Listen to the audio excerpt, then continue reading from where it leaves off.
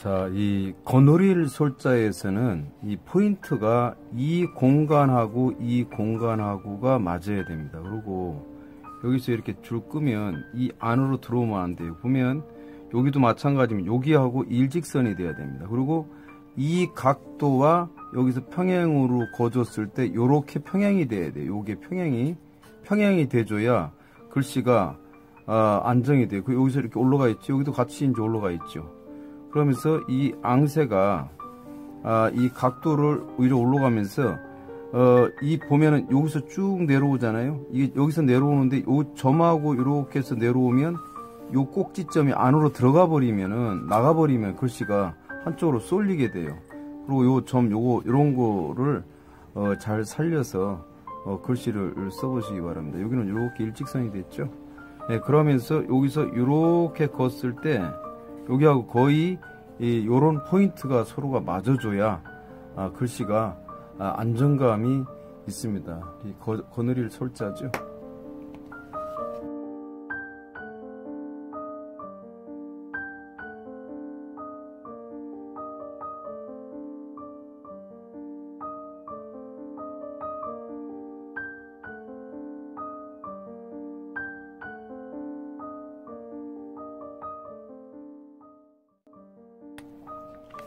자, 이거는 이제 올레자죠. 올레자. 네, 올레자를 이렇게 쓰시는데 여기서는 요거보다 약간 올라가 있죠. 그래서 일직선으로 껐을 때 네, 이거 조금 이렇게 나오는 이게 거의 이 공간이 거의 맞아야 되겠죠. 예, 네, 그러면 이 공간이 비좁지 않게 여기서 어 이렇게 치고 와가지고 이렇게 쑥 타고 올라가야 되죠. 이렇게, 이렇게 타고 올라가서 예, 그러면 이 길이와 이 길이가 같게 되죠. 이렇게 같게. 예, 이렇게 해주면 이건 오른쪽으로 어, 여기서 각도가 조금 차이가 나고 여기서도 약간씩 차이가 나고 예, 이렇게 예, 포인트를 맞춰 이 길이가 길지 않게 해주세요. 이 길이가 너무 길어버리면 어, 글씨가 많이 길어져요.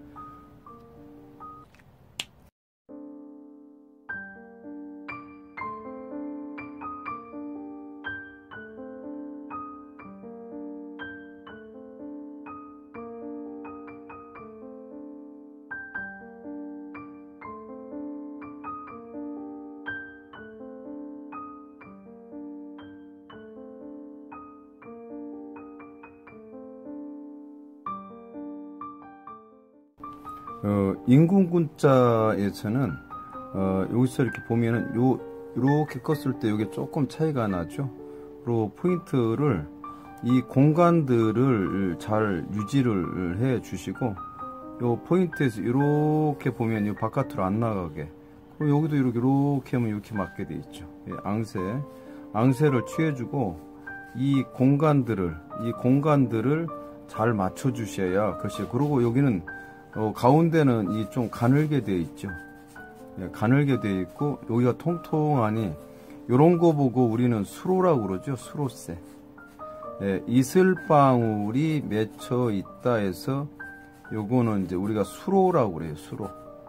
예, 수로. 예, 우리 수로라고 합니다. 이런 부분은 붓이 이렇게 왔다가 다시 예, 해봉을 시켜야 되겠죠.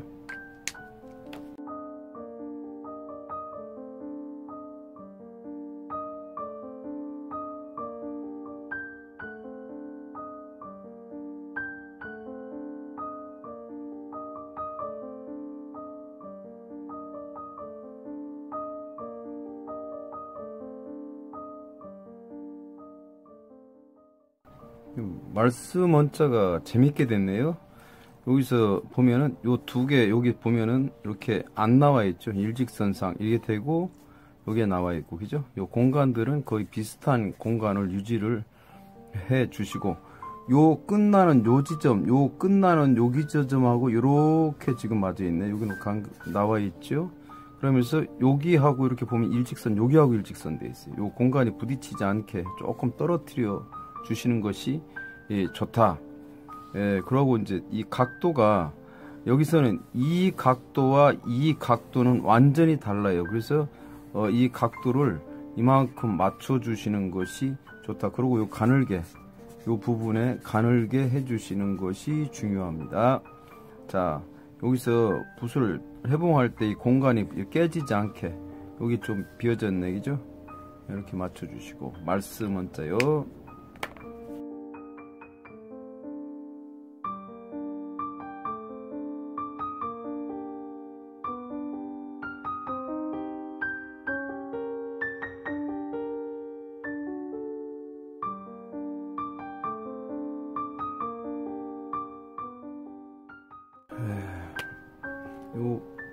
어, 신화신전 요 가운데서 요렇게 포인트가 맞았네요. 여기 나가면 안 되겠지요? 안 나갔어요. 여기하고 여기서는 일직선이 됐네요. 조금 이렇게 맞춰주시고 이 각도가 있어 이 사선이 이게 사선이 있어요. 여기 맞춰주시고 이 공간과 이 공간들은 서로가 맞아줘야 되겠죠. 여기 부딪히지 않게 해주시고 조금 요 간격을 어, 주시고 요 포인트가 요 보면은 여기서 이렇게 온 상태에서 약간 당겨주면서 붓을 이렇게 잡아주는 게 예, 중요해. 그래야 조금 부드럽게 되니까요.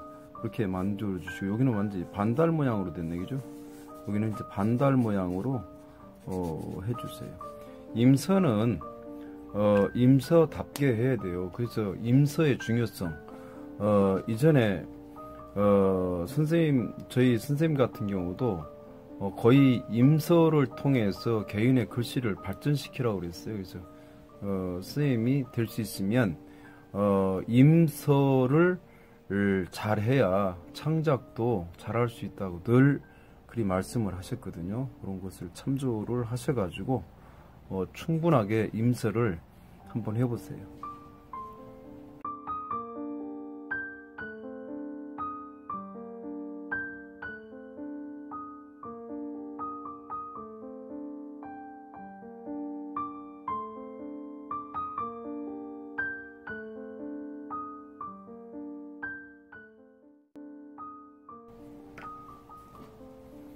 몸실자에서도 마찬가지로 이 공간을 어, 잘 맞춰주고 안으로 좀 들어야 되겠네 그죠? 네, 맞춰서 어, 여기는 조금 가는 듯하게 그죠? 이렇게 글로브가 되게 해주시고 어, 요 포인트에서 이렇게 쭉 내려가면 여기하고 요 앞에 하고 이렇게 맞게 이렇게 해주세요. 그리고 이 각도는 넓게 하고 여기는 좁죠 어, 비좁으니까 이런 거를 어, 참조를 잘해서 여기하고 이렇게 줄을 끄면 거의 직선에 이렇게 맞았죠? 이렇게 맞아서 어, 이 중심을 쟀을 때 이 길이를 보면 이 길이와 이 길이는 같다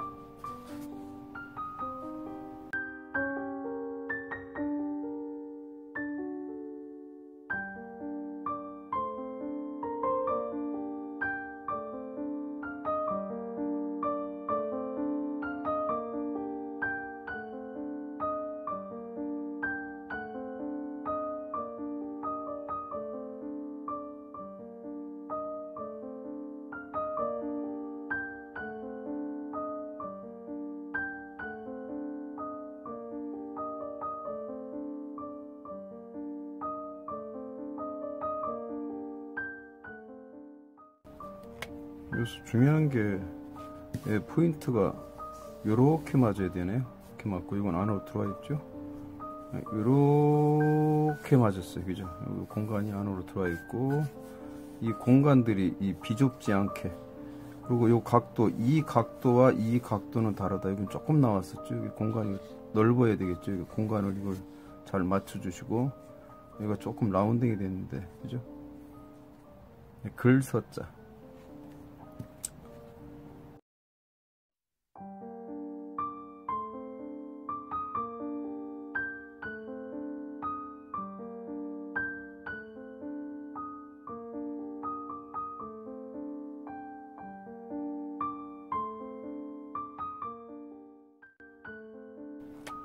이게 이제 글서자가 초서죠. 이거는 이제 예, 안진경 요 쟁자유고에서는 이게 행초가 이제 같이 연결 여기서 호흡이 이 중요하니까 어, 이 공간에서 어, 요 공간이 잘못하면 깨지게 되고요. 요 공간도 지금 비좁아졌는데 요 공간이 깨지지 않게 예, 여기서도 어, 이렇게 들어와서 이렇게 들어온 상태에서 이, 이렇게 들어가겠죠. 이거 맨 나중에 요거는 맨 나중에 거 주세요. 맨 나중.